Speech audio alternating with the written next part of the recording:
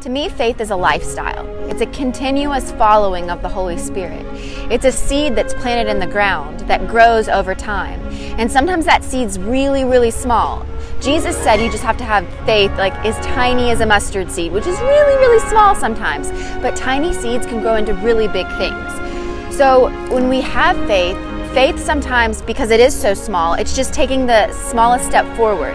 It's saying, okay, God, I'm going to choose to believe. I'm going to choose to believe in what you say is true. I'm going to choose to follow what you said is next. I'm going to choose to believe in your son because his way is the best way. It's not always the right way or the wrong way. It's just the best way. It's what I've learned leads to the fullest life. And isn't that what we're all kind of about? Living like the fullest life to the best of our capability. And I know a lot of people are real skeptical about Jesus, like I've been there before. But if you just give him a chance, you just have a little bit of faith and put your faith and your trust in him, it can grow into something so phenomenal and so amazing and so uplifting and so encouraging. And it doesn't have to be religious and it doesn't have to be um, something made up by man. It can just be something that's a natural relationship with the Holy Spirit that lives inside.